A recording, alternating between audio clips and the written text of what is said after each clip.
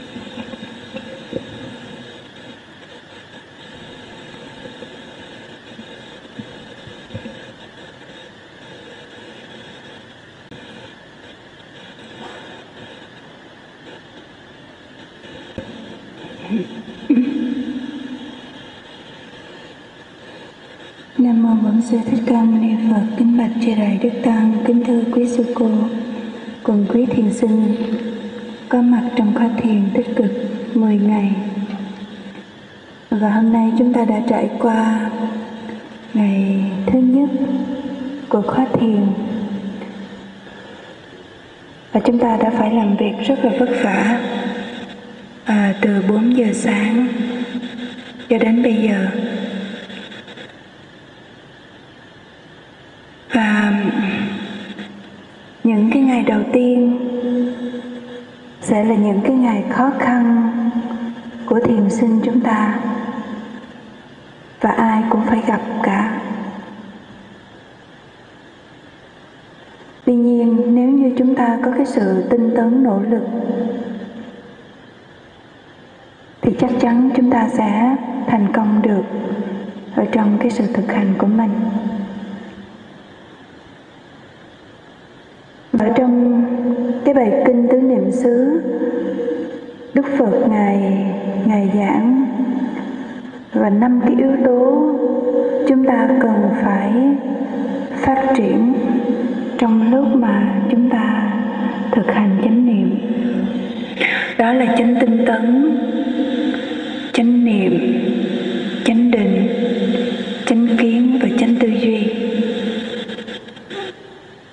Nên giai đoạn đầu của chúng ta chúng ta cần phải nỗ lực rất là nhiều.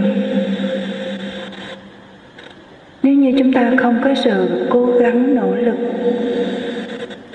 thì như vậy, cái việc thực hành của chúng ta sẽ không có gặt hái được cái kết quả. Và đối với tất cả chúng ta, cho dù ai cũng vậy đi làm, đi học. Và ở đây là chúng ta đi tu tập. Chúng ta cũng phải có cái sự tinh tấn. Nếu như không có cái sự tinh tấn, thì như vậy chúng ta không thể nào thành công được ở trong công việc của mình và trong cái sự tu tập của chúng ta.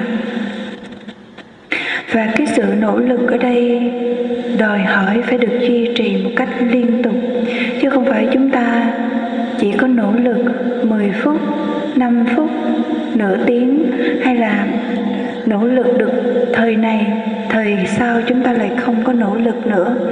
Thì như vậy không có tạo được cái sự um, nỗ lực liên tục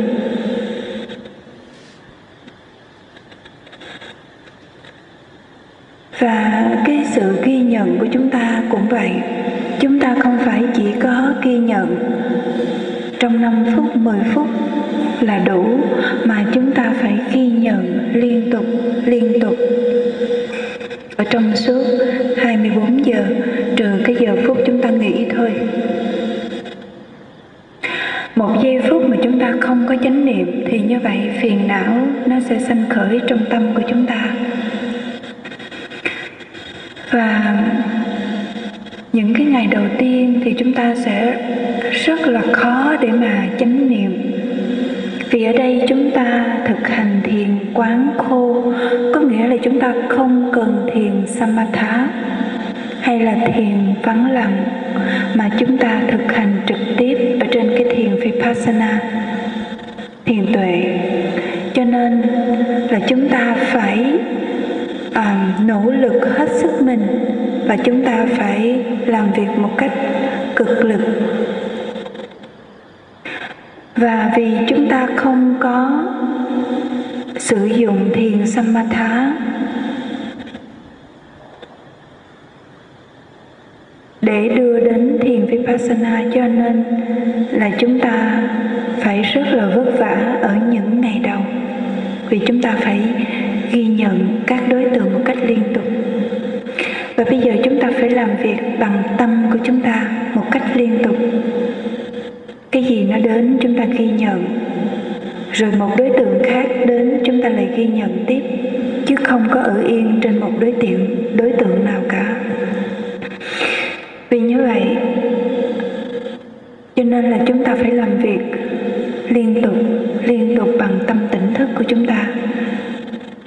thì có cái sự ghi nhận. Một cách liên tục thì chúng ta mới thiết lập được cái Kanika Samadhi là cái định tâm. Và khi định tâm có thì chánh kiến hay là trí tuệ sanh khởi. Nếu như chúng ta không có cái sự tinh tấn và chúng ta cảm thấy chán nản ở những cái ngày đầu tiên, chúng ta gặp phải và đa sinh chúng ta. Những ngày đầu tiên chúng ta sẽ gặp phải rất là nhiều khó khăn, có khi là bệnh tật. Đau chỗ này nhức chỗ kia, ói, rồi sốt, đau bụng, vân vân, sẽ có rất là nhiều vấn đề. Tuy nhiên nếu mà chúng ta tinh tấn, cố gắng chánh niệm, chúng ta sẽ vượt qua được. Và sau này chúng ta cũng sẽ không có cần phải uống thuốc khi chúng ta bị đau đau đầu hay đau bất cứ chỗ nào, chúng ta cũng sẽ không cần uống thuốc, mà chúng ta chỉ cần quan sát chỗ đó thôi. Và tại sao đức phật ngày dạy tứ niệm xứ mà không phải dạy là ba hay hai hay một, mà là bốn? Vì là nó thích hợp với bốn hạng người, bốn cái cá tính riêng, và vì bốn cái đặc tính thứ nhất quán thân, kayanupassana, là để diệt trừ. Cái mình chấp rằng cái thân này là tốt, là đẹp. Khi quán thân bất tịnh, để thấy được cái thân này không có không có tịnh tướng, không có đẹp. Cho nên chúng ta cần phải quán thân để chi, nó giảm cái tâm tâm tham của chúng ta. Làm bớt đi cái sự dính mắc của chúng ta và chúng ta chấp vào cái thân này.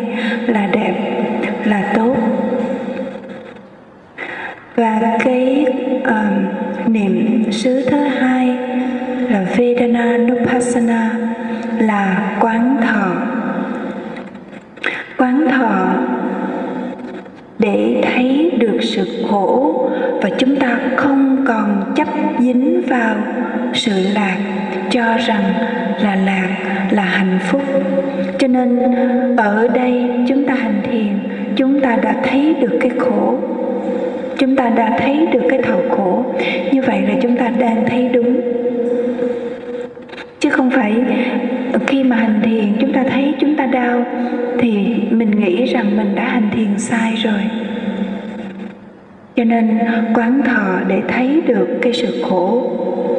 Nếu mà chúng ta không chánh niệm quán thọ, thấy thọ khổ thì như vậy chúng ta sẽ chấp vào cái sự sự hạnh phúc, sự an lạc.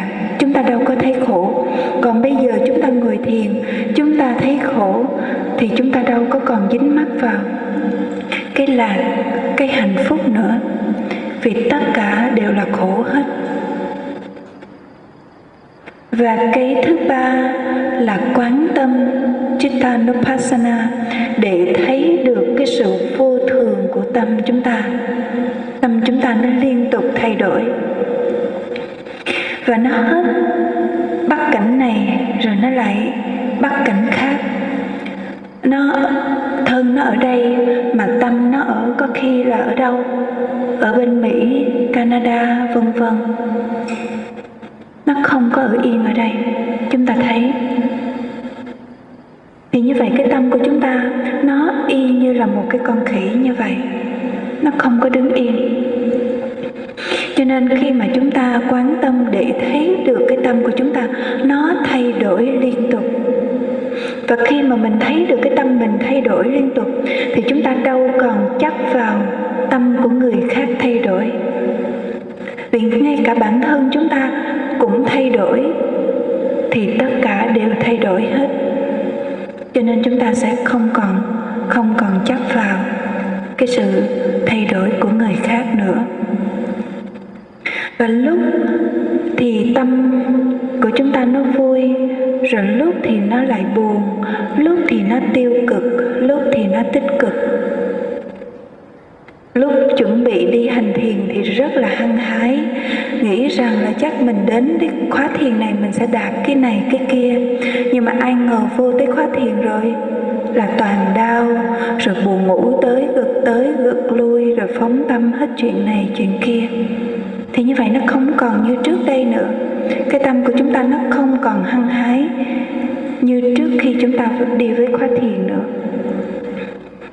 Rồi sau khi à, mà chúng ta có cái sự tinh tấn nỗ lực chánh niệm thì chúng ta vượt qua những cái khó khăn. Cho nên quán tâm để thấy được cái sự vô thường không phải lúc nào tâm của chúng ta cũng có cái sự hoan hỷ hết. Lúc nó như thế này lúc nó như thế kia rồi có những người trước đây chúng ta theo phương pháp tịnh độ niệm phật, vân vân. Rồi bây giờ chúng ta phải chánh niệm liên tục. Thì chúng ta cảm thấy rất là khó.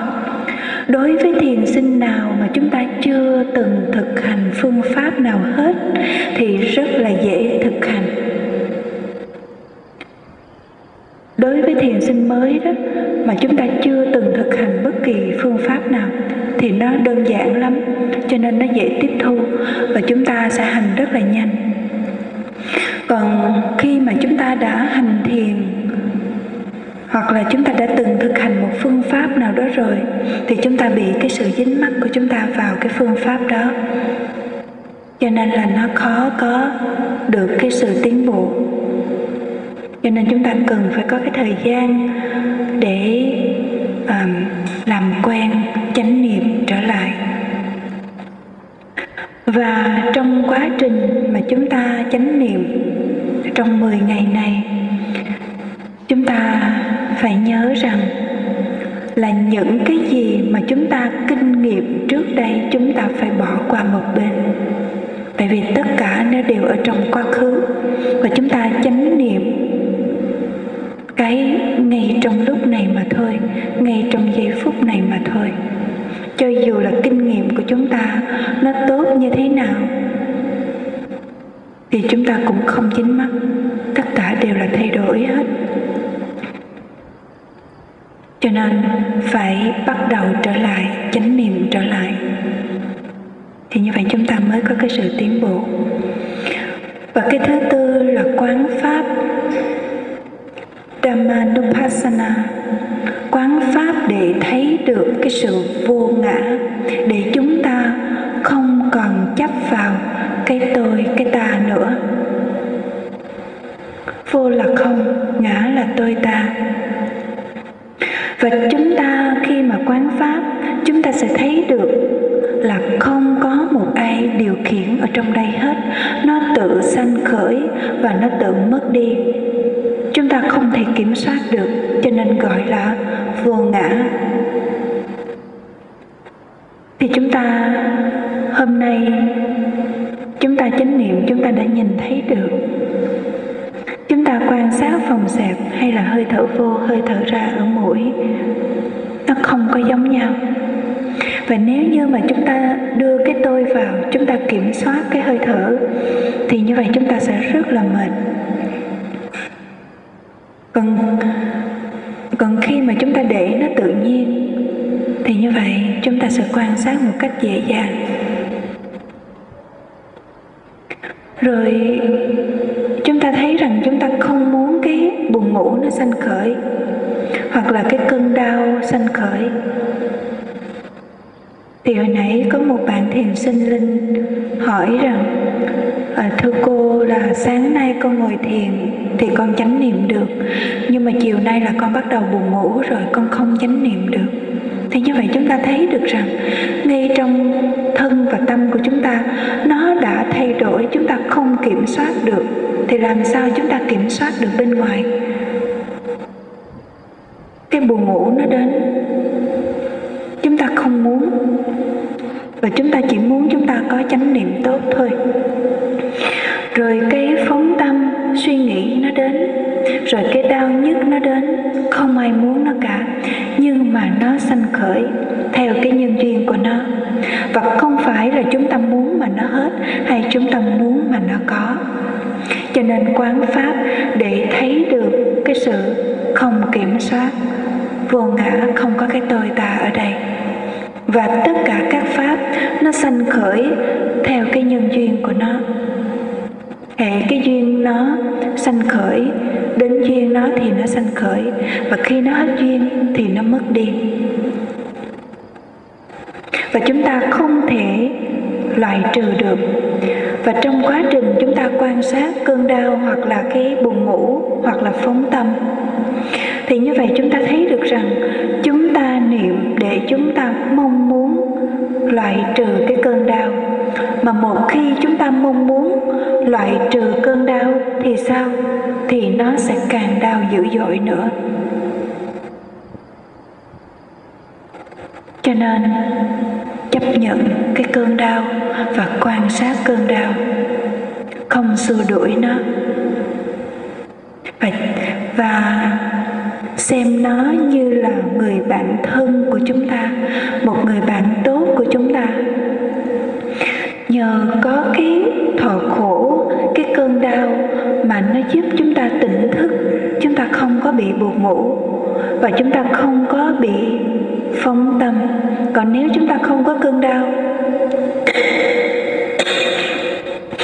thì như vậy chúng ta sẽ bị buồn ngủ, rồi lại phóng tâm cho nên cái cơn đau nó là người bạn của chúng ta. Và chúng ta phải biết được rằng chúng ta đến đây, đến với khóa thiền này là chúng ta đang tập chết. Vì khi mà chúng ta ra đi đó, cái cơn đau nó còn dữ dội hơn trong lúc mà chúng ta hành thiền ở đây nữa và lúc đó cái tâm của chúng ta nó rất là yếu đuối. Chúng ta không thể không thể niệm được. Còn bây giờ, chúng ta vẫn còn tỉnh táo, chúng ta có thể ghi nhận được. Cho nên chúng ta phải tập tập chết. Hành thiền là để tập chết. Chúng ta nhớ chúng ta đến đây là chúng ta đang tập chết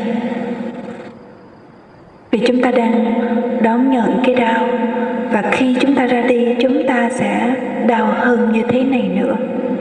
Và bây giờ chúng ta không cố gắng, chúng ta chánh niệm. Chúng ta muốn xua đuổi cơn đau. Và khi chúng ta ở trên giường bệnh, lúc chúng ta sắp lâm chung, thì làm sao mà chúng ta có thể thay đổi được cơn đau? Bây giờ chúng ta thay đổi ở tư thế nào? Đau nó vẫn là đau và bây giờ, khi mà chúng ta quan sát được cơn đau, thì lúc đó khi mà cái giờ phút lâm chung, chúng ta sẽ ghi nhận được. Thì những cái tâm bất thiện, nó sẽ không sanh khởi trong lúc chúng ta ra đi. Và ở trong cái bài kinh ở Gelanya Sutta ở trong cái tương ưng kinh, thì Đức Phật ngài à, có đề cập đến những cái vị tỳ khưu bệnh. Và Đức Phật ngài đã thuyết một cái câu rằng, này các thầy tỳ kheo ở các ngươi, hãy chuẩn bị cái thời gian Kalang Karoti Kalang có nghĩa là cái thời gian mà mình phải ra đi. Và mình chuẩn bị gì? Chuẩn bị cho cái chết của mình, đó là chánh niệm. Và tại sao đức phật ngài giảng tứ niệm xứ? Ở đây có bốn hạng người. Hạng người thứ nhất là tâm tham ái nhiều và trí tuệ kém. Thì như vậy quán thân là thích hợp với những cái hành giả đó. Và cái hành giả thứ hai là tâm tham ái nhiều và trí tuệ nhiều. Thì như vậy quán thọ là thích hợp với cái hành giả đó. Và quán tâm và ở trong cái Athasalini là cái bộ chú giải uh, của cái um, bộ thứ bộ thứ hai của tạng vi diệu pháp. Có chú giải rằng ở thí Charita là cái hạng người tà kiến tuệ kém, thì như vậy quán tâm là thích hợp cho hành giả đó. Và quán pháp thì thích hợp cho cái người suy nghĩ nhiều và trí tuệ nhiều sẽ thích hợp cho cái hành giả đó. Cho nên là thiền sinh chúng ta không ai giống ai hết và mỗi chúng ta sẽ có một cái nhân duyên khác nhau. Tuy nhiên, không phải chúng ta chỉ có quán thân là quán thân không? Hay là quán thọ chỉ quán thọ không? Hay quán tâm là quán tâm không? Hay quán pháp là quán pháp không? Một khi chúng ta quán thân thì như vậy cũng có ba cái đối tượng kia sinh khởi. Tuy nhiên, cái vị hành giả mà quán thân nổi trội, thì như vậy cái thân nó sẽ nổi trội hơn với cái vị đó. Rồi, đối với hành giả, có khi họ sẽ quán cảm thọ nó dễ dàng hơn. Tuy nhiên không phải họ chỉ có quán cảm thọ không, mà họ cũng quán luôn những cái còn lại. Và tương tự như vậy, thì những hành giả chúng ta quan sát chánh niệm trên cảm thọ hay là quán pháp thì như vậy không phải chỉ quán có thọ không, hay là quán tâm không mà chúng ta cũng quán hết tất cả. Và đối tượng của thiền minh sát là gì? Đó chính là thân và tâm của chúng ta, hay còn gọi là ngũ uẩn. Là cái đối tượng của thiền minh sát. Thì như vậy chỉ trong cái thân này thôi. Chúng ta chánh niệm thì như vậy chúng ta sẽ phát triển được trí tuệ và chứng đắc đạo quả ngay trong cái thân này thôi, chứ không có ở thân người khác.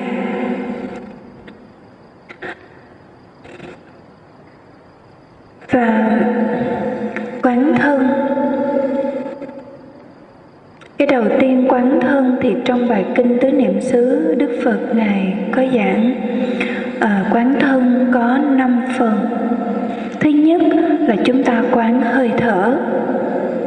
Thứ hai là chúng ta quán về tứ oai nghi của chúng ta. Và thứ ba là chúng ta chánh niệm tỉnh giác trên những cái hành động hàng ngày của mình. Và thứ tư là chúng ta quán cái thân bất tịnh. Và thứ năm à, là chúng ta quán tử thi. Thì như vậy quán thân gồm có năm phần. Và hôm qua chúng ta đã được hướng dẫn về quán hơi thở. Thì như vậy chúng ta quán thân. Rồi chúng ta cũng quán được tứ oai nghi đi đứng nằm và ngồi. Rồi chúng ta cũng được hướng dẫn ở trong cái sự chánh niệm tỉnh giác, làm cái gì biết cái đó. Ăn, uống, tắm, giặt. Co tay, duỗi tay, vân vân. Và từ khi mở mắt cho đến khi đi ngủ, chúng ta đều phải luôn luôn chánh niệm và tỉnh thức biết rõ mình đang làm gì. Tâm mình có đang hay biết đang làm hay không. Thì khi chúng ta mở mắt, thì chúng ta niệm mở mắt mở mắt, và biết rằng chúng ta đang mở mắt. Rồi khi ngồi dậy, chúng ta biết chúng ta ngồi dậy. Rồi khi bước xuống giường, chúng ta biết, chúng ta bước xuống giường. Rồi gấp chăn, biết, gấp chăn, xếp mùng lại, biết, xếp mùng rồi bật đèn, biết bật đèn, tắt đèn, biết tắt đèn. Mở cửa, đóng cửa. Tất cả hành động của chúng ta đều phải làm trong cái sự tỉnh thức và hay biết.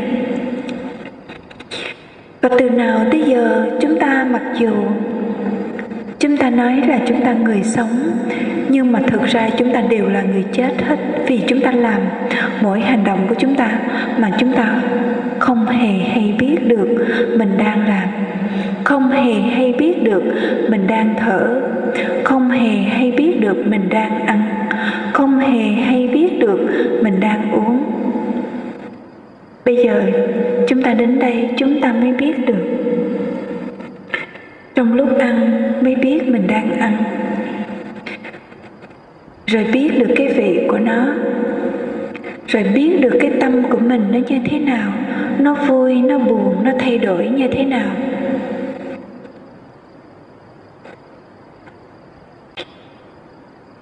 Rồi từ nào tới giờ, mặc dù chúng ta có những cơn đau, nhưng chúng ta không hề hay biết nó. Vì sao? Vì chúng ta thường xuyên thay đổi cái tư thế của mình. Ở đây chúng ta phải ngồi yên một tiếng như vậy thì chúng ta mới thấy được cái cảm thọ khổ nó sanh khởi. Còn từ trước tới giờ chúng ta sống ở ngoài đời hễ nó đau một chút thì chúng ta đã thay đổi mất rồi thì làm sao chúng ta phát hiện được cái cơn đau? Rồi từ trước tới giờ chúng ta ngồi xem tivi à, xem bóng đá hay là chơi game nhưng mà chúng ta không hề có cái buồn ngủ nhưng mà bây giờ chúng ta ngồi thiền thì chúng ta lại buồn ngủ. Hồi nào tới giờ, chúng ta không biết rằng tâm của chúng ta nó phóng đi chỗ này, chỗ kia. Bây giờ ngồi yên một chỗ rồi thì chúng ta mới thấy cái tâm nó hoạt động như thế nào. Cho nên, vì bây giờ chúng ta có được cái sự định tĩnh, cái tâm nó vắng lặng, chúng ta mới thấy rõ những cái hoạt động của thân và tâm của chúng ta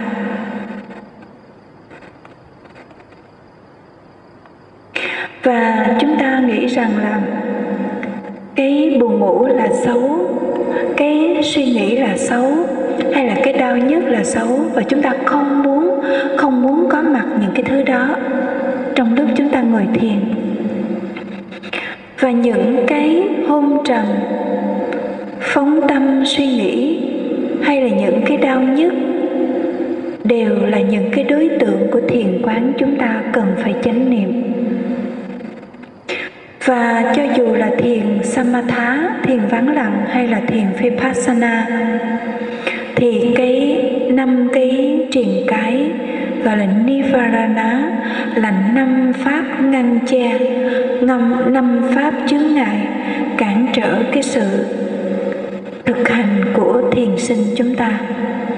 Cho nên, cho dù là thiền chỉ hay là thiền quán, thì chúng ta cần phải loại trừ năm cái pháp ngăn che này bằng cái chánh niệm của chúng ta. Cho nên là khi mà có buồn ngủ sanh khởi, chúng ta ghi nhận buồn ngủ buồn ngủ buồn ngủ. Và chánh niệm cho đến khi nào cái cơn buồn ngủ nó tỉnh thức. Khi tỉnh thức rồi thì chúng ta có thể quay trở về, theo dõi sự chuyển động phồng lên dẹp xuống ở bụng và nếu như mà cái cơn buồn ngủ nó quá dữ dội, chúng ta có thể mở mắt ra để giúp chúng ta tỉnh thức.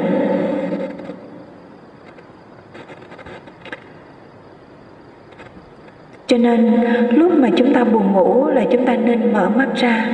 Chứ chúng ta mà ở ngồi đó mà chúng ta ngủ như vậy thì không được gọi là ngồi thiền cho nên chúng ta phải dùng những cái phương pháp để vượt qua cái sự buồn ngủ này bằng cách là mở mắt ra cho nó tỉnh thức. Hoặc là chúng ta nhớ được cái một đoạn kinh nào đó, chúng ta có thể đọc thầm, giúp tỉnh thức. Rồi, nếu mà không vượt qua thì chúng ta đứng lên. Rồi đứng ngay cả đứng, chúng ta vẫn chưa tỉnh thức được, chúng ta nên đi thay đổi oai nghi của mình, hoặc là ờ, ra rửa mặt, rửa tay, rửa chân. Thì như vậy chúng ta sẽ vượt qua được cái cơn buồn ngủ của chúng ta, rồi chúng ta quay trở vào, tiếp tục chánh niệm. Và chúng ta biết được rằng là cái buồn ngủ đó là đến vị a la hán cái vị thánh thứ tư đoạn trừ được. Cho nên là khi nào chánh niệm của chúng ta nó tốt thì chúng ta vượt qua. Nhưng mà khi chánh niệm của chúng ta mà nó yếu thì như vậy cái cơn buồn ngủ nó sẽ tấn công chúng ta. Cho nên chúng ta sẽ dùng những cái phương pháp được hướng dẫn để chúng ta vượt qua cái sự hôn trầm buồn ngủ. Và cái phóng tâm cũng vậy phóng tâm cũng là một trong năm cái đề mục của quán pháp trong pháp. Và khi mà chúng ta thực hành uh, quán tâm thì chúng ta mới biết được à, chính chúng ta. Hồi nào tới giờ chúng ta không hề hiểu được mình chúng ta không hề biết được chính bản thân mình. Nhưng mà khi mà mình có thực hành chánh niệm rồi mình mới hiểu được mình như thế nào cái tâm mình nó vận hành như thế nào.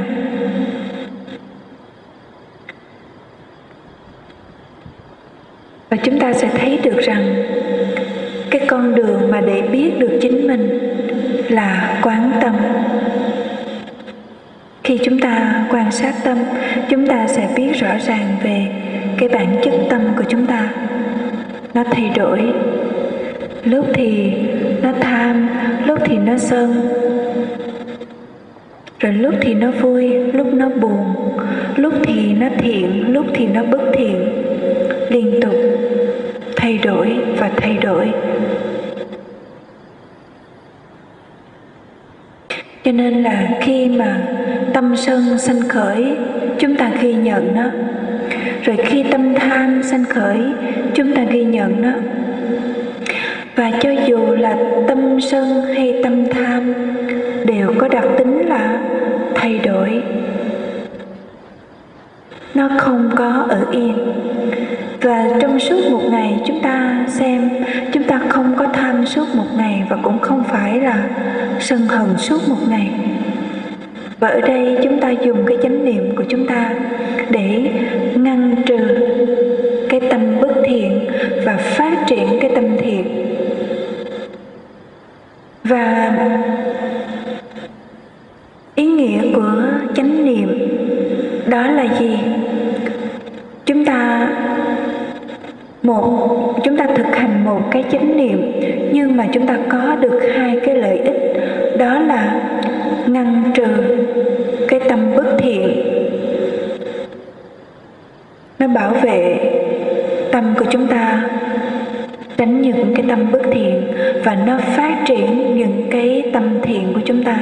Cho nên là trong cái câu kinh pháp cú mà đức phật ngài dạy là không làm các việc ác làm các việc lành, thanh lọc tâm trong sạch.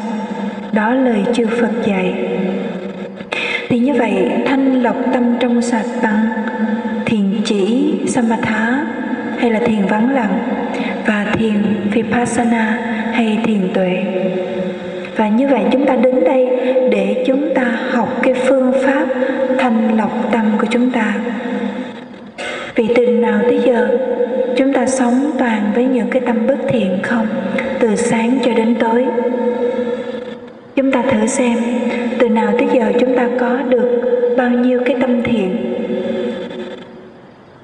Chỉ khi đến đây, chúng ta chánh niệm từ sáng tới tối thì chúng ta mới thiết lập được cái tâm thiện của mình một cách liên tục còn khi mà chúng ta mất chánh niệm là giây phút đó, tâm bất thiện sanh khởi. Thì khi mà chúng ta ngồi thiền, chúng ta thấy rõ được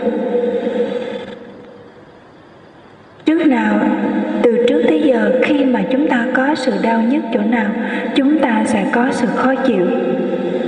Rất là khó chịu, mà cái sự khó chịu đó là trạng thái của tâm sân chứ không phải chúng ta la mắng người này, đánh đập người kia mới gọi là tâm sân. Mà ngay cả cái trạng thái khó chịu, phản ứng không chấp nhận, đó là trạng thái của tâm sân. Ai nói cái gì mà mình không chấp nhận, tâm mình phản ứng, thì như vậy đó là tâm sân rồi. Rồi, mình dính mắt mình thích cái này rồi mình thích cái kia. Tâm mình liên tục bị những cái tham và sân hay là những cái à, thích và ghét nó chi phối cái tâm của chúng ta liên tục một ngày 24 giờ. Từ khi chúng ta mở mắt chúng ta đã thấy là cái tâm bất thiện nó sanh khởi phải mua cái này, phải ăn cái kia, phải làm cái này, phải tính cái kia. Thì như vậy chúng ta thấy được rằng chúng ta có tâm thiện hay không. Cho nên chỉ khi nào chúng ta có được chánh niệm, chúng ta mới có được cái tâm thiện. Cho nên là tại sao chúng ta phải ghi nhận từ khi mắt chúng ta mở chúng ta phải có sự ghi nhận nó. Chánh niệm là gì? Niệm có nghĩa là cái sự ghi nhận. Chánh là đúng đắn. Và niệm, chánh niệm ở đây là ghi nhận. Trên bốn cái đối tượng, thân, thọ, tâm, pháp gọi là chánh niệm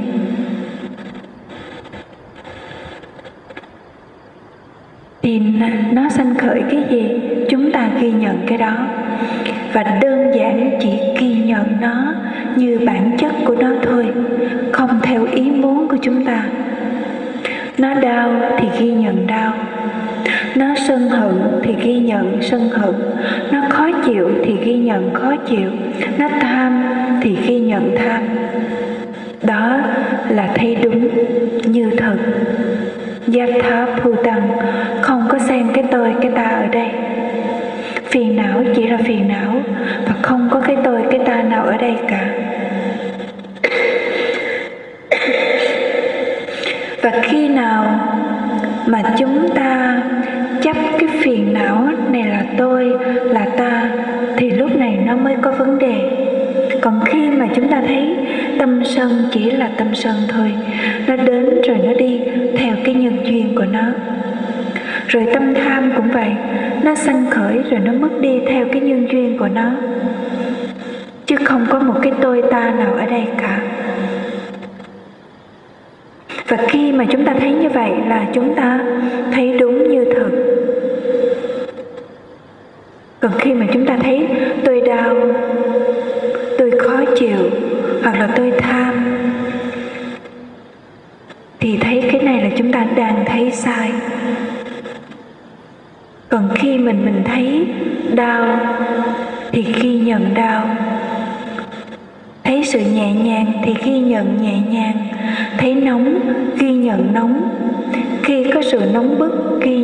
nóng bức.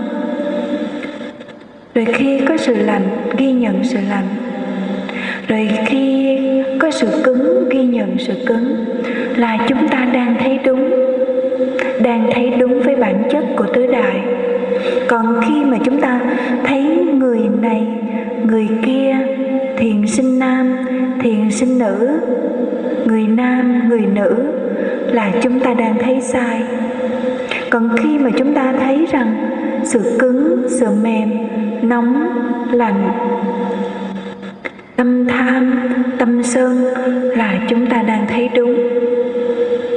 Thấy sự khó chịu, thấy sự dễ chịu, thấy được mùi vị. Rồi mắt chúng ta thấy cảnh, tai chúng ta nghe âm thanh, chúng ta biết thì cái này là thấy đúng còn khi mà chúng ta thấy rằng có một cái con người. Rồi chúng ta thấy con này, con kia, con vật này, con vật kia là chúng ta đang thấy sai. Chúng ta đang thấy trên phương diện tục đế. Mà thiền quán là phải thấy trên phương diện chân đế. Chân đế là gì? Chân đế là sự thật. Mà tục đế là cái sự thật của thế tục mà chân đế là sự thật của sự thật. Đó là tâm tham, tâm sân của chúng ta. Chúng ta ghi nhận nó. Đó là thấy đúng như thực. Còn khi mà chúng ta thấy tôi tham, tôi sân, thì như vậy chúng ta không thấy đúng như thực. Rồi khi chúng ta thấy sự cứng, mềm, nóng, lạnh, rung chuyển chuyển động ở trong thân của chúng ta và khi chúng ta thấy được những cái yếu tố chuyển động, thì khi mà chúng ta quan sát hơi thở, thì như vậy hơi thở đây chính là yếu tố gió. Mà khi chúng ta thấy được sự chuyển động, sự đẩy, sự căng, sự giãn là chúng ta thấy đúng. Thì như vậy chúng ta sẽ không thấy là có một cái con người nào thở ở đây hết hay một con vật nào thở ở đây hết. Mà chúng ta chỉ thấy có cái sự chuyển động mà thôi, có sự căng kéo giãn mà thôi. Đó là cái yếu tố gió. Rồi chúng ta thấy được sự cứng, sự mềm là chúng ta thấy được cái đặc tính của yếu tố đất. Rồi chúng ta thấy được sự nóng, sự lạnh. Là chúng ta đang thấy được cái yếu tố lửa. Rồi chúng ta thấy được sự tuôn chảy và quấn tụ, đó là cái yếu tố nước. Thì như vậy, cái thân của chúng ta đây được kết hợp bởi bốn cái yếu tố tứ đại này. Ngoài ra nó không có gì cả. Và vì vô minh cho nên chúng ta không hiểu và không thấy. Cho nên chúng ta mới chấp cái này là tôi là ta cho nên chúng ta mới khổ. Vì chúng ta chấp người này, người kia, cho nên chúng ta mới giận, mới hờn. Còn nếu như chúng ta chỉ thấy có một cái tâm bất thiện nó sanh khởi rồi nó mất đi, thì như vậy chúng ta sẽ không có giận và không có hờn. Cho nên khi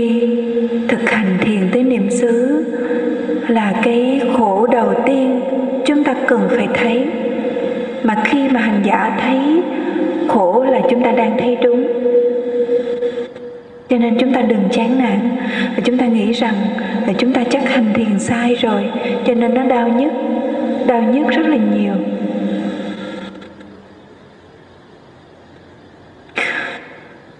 Cho nên ai cũng phải kinh nghiệm qua những cái sự đau nhất cả. Và ngay cả đức phật, ngài cũng bị đau nhất và cái đau nhức này của chúng ta chúng ta nên nhớ rằng chúng ta không thể loại trừ được nó. Một khi chúng ta còn sanh tử luân hồi, thì như vậy cái cảm thọ đau này, cảm thọ khổ này, nó sẽ có mặt. Bất cứ lúc nào hễ nó muốn xuất hiện, nó muốn sanh khởi lúc nào là nó sẽ sanh khởi. Chúng ta không thể hay biết được. Chỉ khi nào chúng ta không còn sanh tử luân hồi nữa, chúng ta nhập niết bàn thì cái đau này nó mới không còn. Cho nên chúng ta phải nhớ, đừng nghĩ rằng là chúng ta qua một khóa thiền, hai khóa thiền, hành một năm, hai năm, thì như vậy chúng ta sẽ không còn đau. Xin thưa với quý thiền sinh là không bao giờ cơn đau này nó chấm dứt cả. Nên nhớ, nhưng mà sao? Chúng ta sẽ dễ dàng vượt qua vì chúng ta đã hiểu được nó. Chúng ta đã vượt qua được sau này nó có đến thì chúng ta sẽ không còn sợ hãi nó nữa. Nhưng mà những ngày đầu thì thiền sinh sẽ rất là sợ cái cơn đau, rất là sợ muốn tránh né nó. Và ngay cả bản thân ờ, khi mà thực hành trước đây cũng vậy chứ không phải ờ, như thiền sinh bây giờ thì cũng rất là sợ. Khi mà bắt đầu vô ngồi thiền là sợ sợ ngồi thiền lắm vì sợ cơn đau nhưng mà khi một khi mà tâm của chúng ta nó đã quân bình và chúng ta đã vượt qua rồi, thì bây giờ không còn không còn cái sự sợ nữa. Và chúng ta đón nhận nó một cách dễ dàng. Mặc dù cái đau nó vẫn còn vẫn còn đó. Chứ không phải bây giờ hành thiền mấy chục năm là cái đau này nó mất đi. Không hề, quý vị. Có khi những cơn đau nó còn khốc liệt hơn nữa. Nhưng mà sao chánh niệm được mình không còn khó khăn như trước đây nữa. Mình sẽ quan sát được dễ dàng. Nó sanh khởi thì mình chánh niệm. Còn bây giờ, đối với thiền sinh mới thì chúng ta chưa có quan sát được, cho nên chúng ta sẽ rất là khó khăn, chúng ta rất là sợ hãi cái cơn đau. Vì sao? Cái tâm của chúng ta nó chánh niệm vẫn còn quá yếu cho nên nó chưa đủ mạnh để mà nó xuyên thấu được cái cơn đau. Một khi mà chúng ta đã xuyên thấu được nó rồi, thì cho dù là cái cơn đau đó nó khốc liệt đến mức nào thì chúng ta sẽ quan sát được cái cơn đau đó. Và nó sẽ không có còn khó khăn gì với chúng ta nữa. Cho nên, thiền sinh chúng ta bắt đầu từ ngày mai, chúng ta sẽ phát nguyện nhất là một ngày, một thời, chúng ta duy trì một tiếng ngồi không thay đổi tư thế. Chúng ta phát nguyện là ngồi một tiếng không thay đổi tư thế. Ngay cả khi mà có chết đi nữa thì cũng sẽ không thay đổi tư thế thì như vậy nó sẽ giúp cho chúng ta có được cái dũng mạnh tính tâm để chúng ta vượt qua cái cơn đau và chúng ta sẽ chánh niệm được trên cái cơn đau của mình. Và không sợ không sợ cái cơn đau. Sợ là chúng ta không chánh niệm được thôi, chứ không ai chết ở trong lúc mà hành thiền cả quý vị chúng ta nhớ là không chưa ai mà chết trong lúc người thiền cả. Và không chết vì cái cơn đau. Nên nhớ là không ai bị chết vì cơn đau trong lúc ngồi thiền. Cho nên chúng ta uh, cố gắng nhẫn nại quan sát cái cơn đau. Và cái điều kiện để giúp chúng ta vượt qua cơn đau là chúng ta phải niệm ngay khi cơn đau vừa sanh khởi và phóng tâm cũng vậy.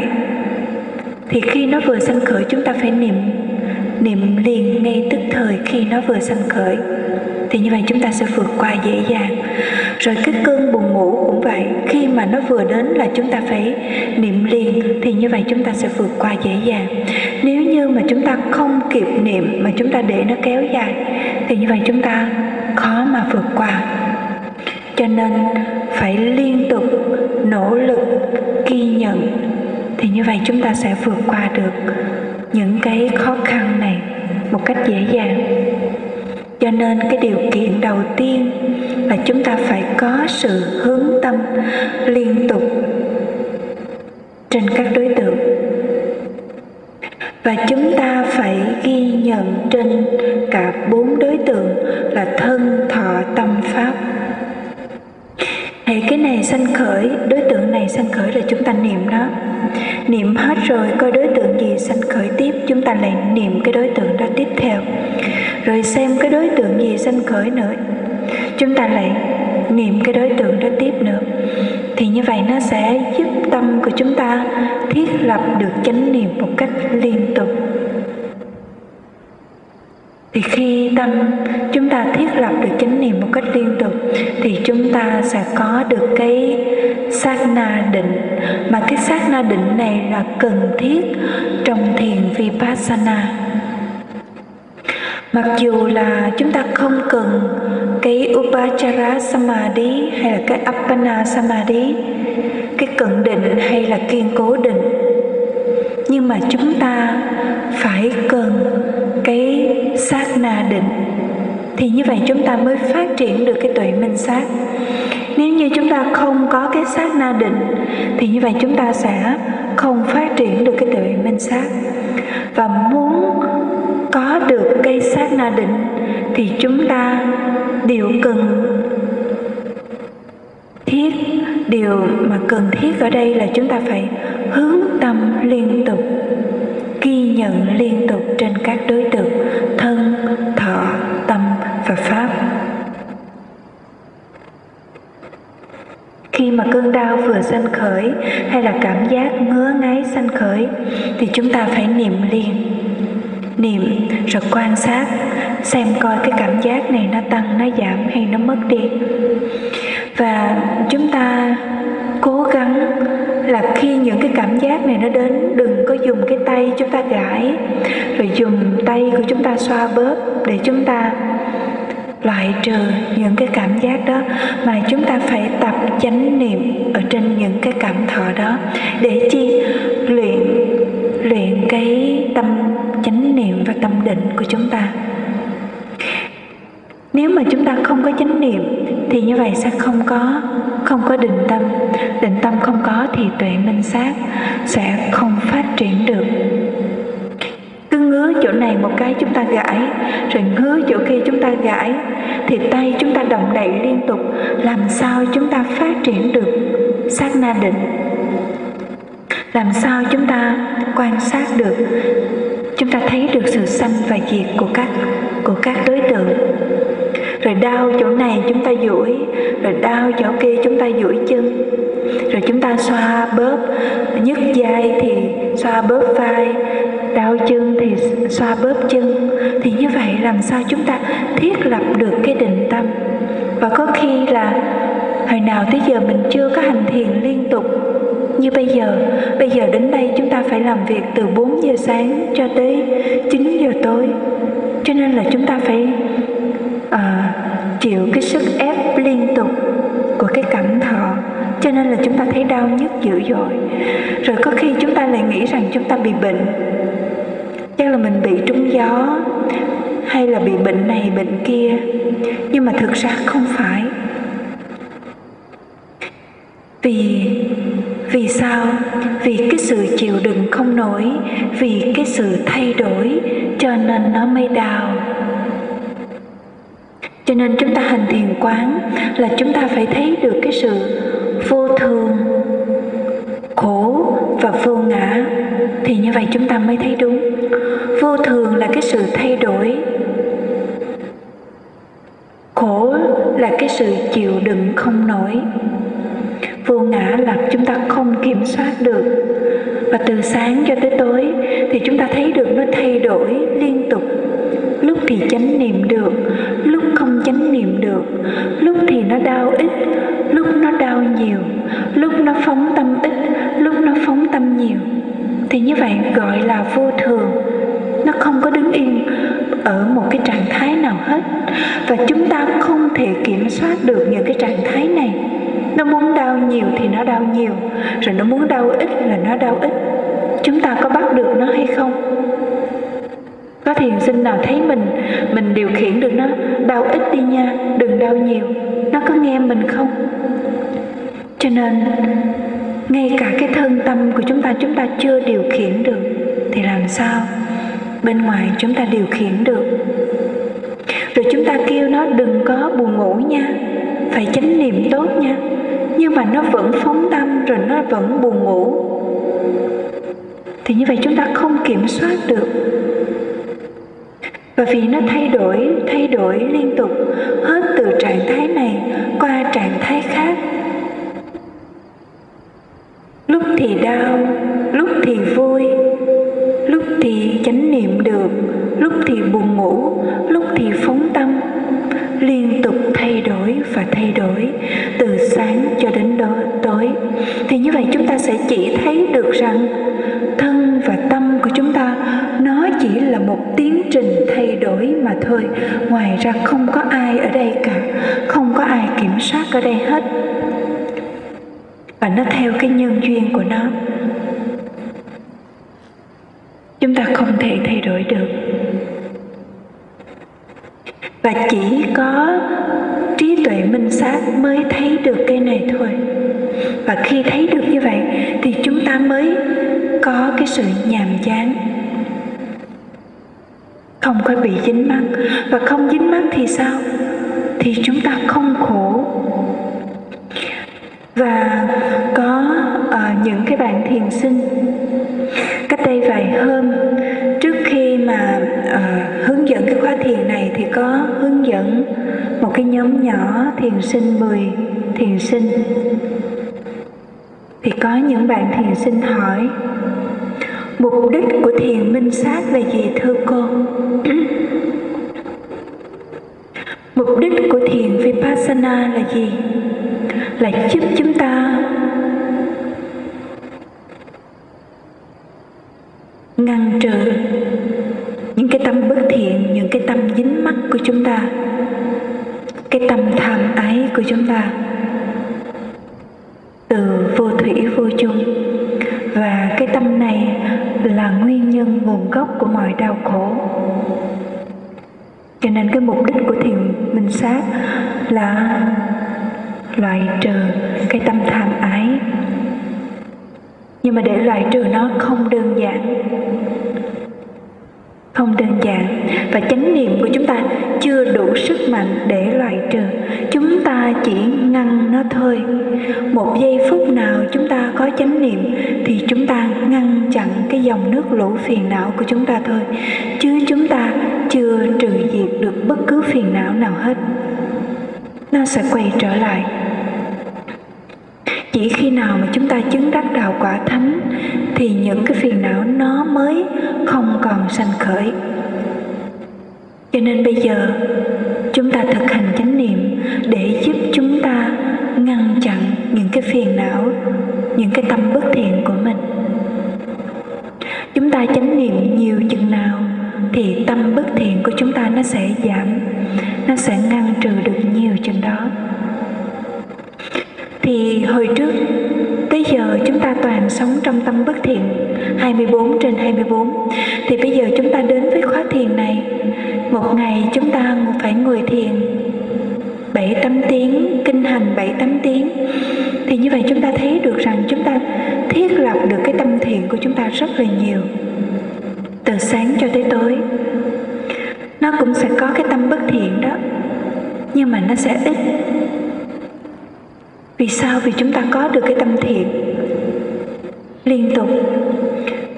Mặc dù nó không liên tục, nhưng mà ít nhất là chúng ta cũng duy trì được một ngày ít nhất. Nếu mà người nào mà, gọi là, kém lắm, thì như vậy chúng ta cũng có được nửa tiếng chánh niệm thì như vậy nửa tiếng chánh niệm là 30 phút. Chúng ta nhân lên xem chúng ta được bao nhiêu cái tâm thiện của mình. Cho nên, không có dễ vui bất cứ một giây phút nào cả. Chúng ta đừng nghĩ rằng 5 phút là không quan trọng. 5 phút mà chúng ta chánh niệm được thì như vậy chúng ta biết rằng chúng ta đã ngăn chặn được những cái tâm bất thiện của mình nó như thế nào. Một phút thì 30 giây, thì chúng ta nhân lên 5 phút chúng ta được bao nhiêu cái tâm thiện của mình. Cho nên, tinh tấn, cố gắng, chánh niệm để giúp chúng ta ngăn trừ những cái tâm bất thiện và phát triển những cái tâm thiện của chúng ta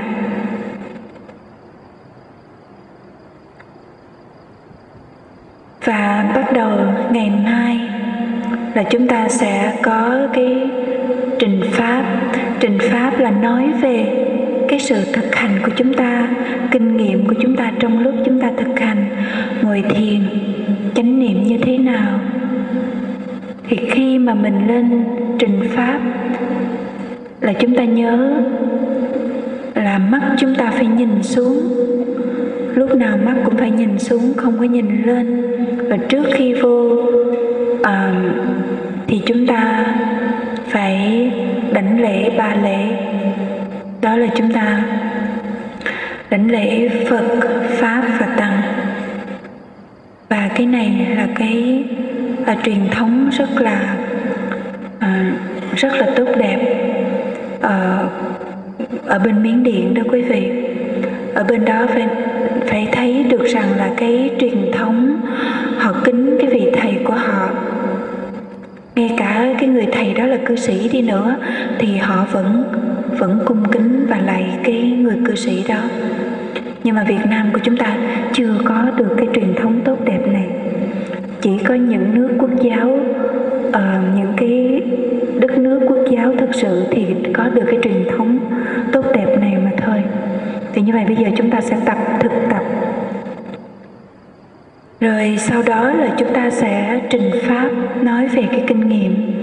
À, khi thì như vậy bây giờ sẽ hướng dẫn cho quý vị cái cách trình pháp nói như thế nào đi thẳng vào trọng tâm của vấn đề không có nói lan man ở bên ngoài. Thì như vậy nó sẽ ờ, giúp cho mình ở những cái thời gian cũng như là chúng ta có vấn đề gì. Ờ, thì nó sẽ được giải quyết nhanh. Không có liên quan đến vấn đề công việc, gia đình, vân vân. Đi thẳng vào vấn đề chúng ta có chánh niệm được hay không. Thì như vậy, khi mà vào trình pháp, thì quý vị sẽ trình như thế này. Ở trong lúc mà con ngồi thiền, cần quan sát sự chuyển động phồng lên, xẹp xuống ở bụng hay là có những thiền sinh. Chúng ta theo dõi, hơi thở vô, hơi thở ra ở mũi. Thì sau khi mà con ghi nhận, sự chuyển động phồng lên xẹp xuống ở bụng. Ở con biết khi con hít vào, thì bụng nó căng phồng lên, con biết. Rồi khi mà con thở ra, bụng xẹp xuống, con biết. Rồi được khoảng vài vài ba hơi thì tâm con nó suy nghĩ chuyện này, chuyện kia. Thì con ghi nhận, suy nghĩ suy nghĩ suy nghĩ. Rồi con thấy nó hết suy nghĩ. Rồi con quay trở về, theo dõi sự chuyển động phồng lên xẹp xuống ở bụng. Rồi một tí, một suy nghĩ khác nó lại sanh khởi, con lại niệm nó tiếp.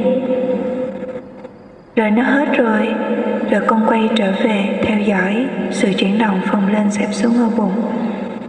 Rồi một tí nữa thì có cơn buồn ngủ nó đến, thì con niệm buồn ngủ buồn ngủ buồn ngủ. Thì con thấy tỉnh, hoặc là chúng ta niệm không được, chúng ta cũng phải nói.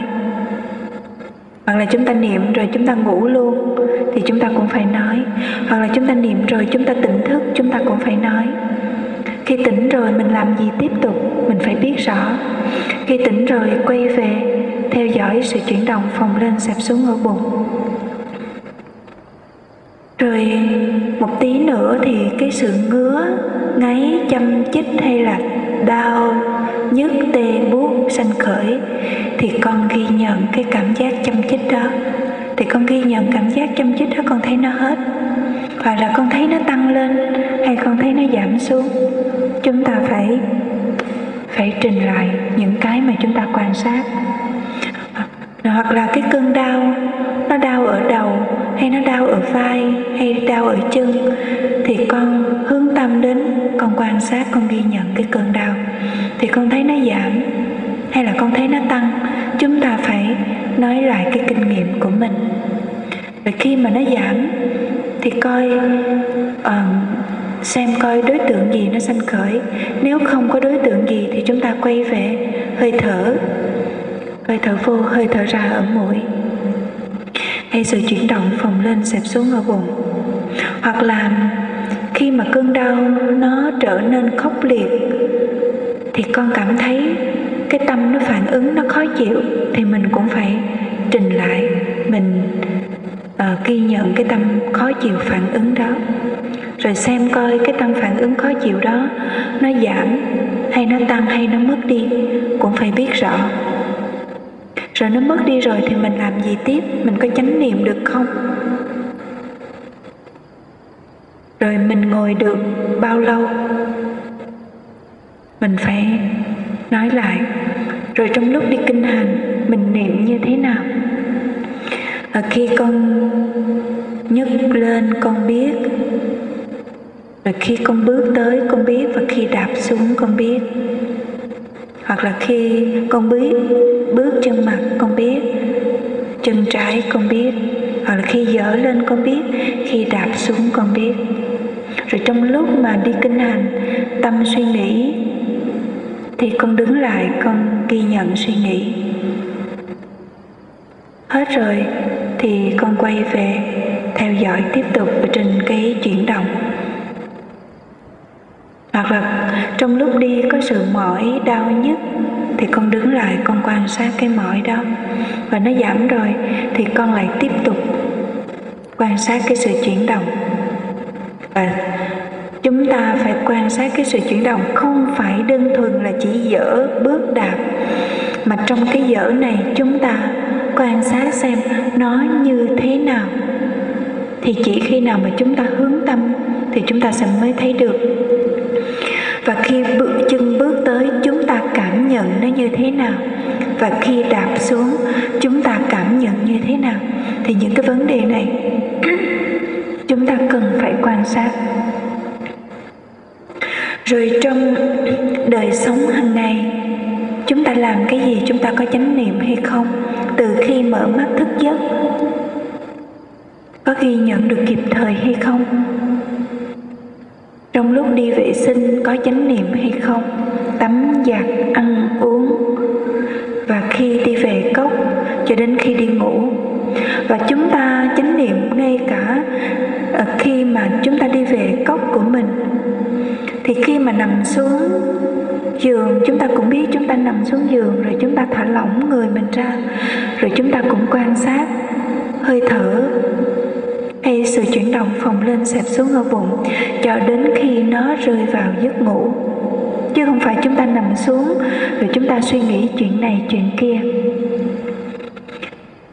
Khi mà suy nghĩ thì chúng ta niệm suy nghĩ suy nghĩ.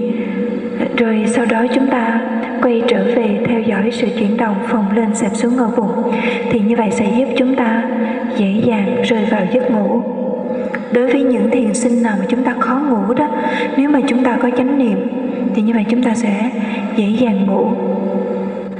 Rồi khi mà thức giấc cũng phải biết thức giấc. Rồi khi đi vô nhà vệ sinh cũng phải chánh niệm luôn, chứ không phải là chúng ta không chánh niệm. Đi vệ sinh, biết mình đi vệ sinh. Tâm của chúng ta phải hay biết rõ ràng. Tắm giặt, rửa mặt, đánh răng chúng ta làm có chánh niệm hay không? Thì như vậy, ngày mai thì chúng ta sẽ trình lại những cái gì mình kinh nghiệm, mình thực hành chánh niệm, xem mình có thực hành được hay không. Đó là những cái buổi trình pháp ngày mai chúng ta sẽ ờ, cần phải nói ờ, cầu chúc cho tất cả các thiền sinh của chúng ta luôn được nhiều sự an vui sức khỏe và có được nhiều cái chánh niệm ở tinh tấn ở dũng mãnh quyết tâm để thực hành trọn vẹn 10 ngày. Uh, thiền tập này được thành tựu một cách viên mãn và nếm được cái hương vị pháp bảo ngay trong kiếp sống hiện tại này.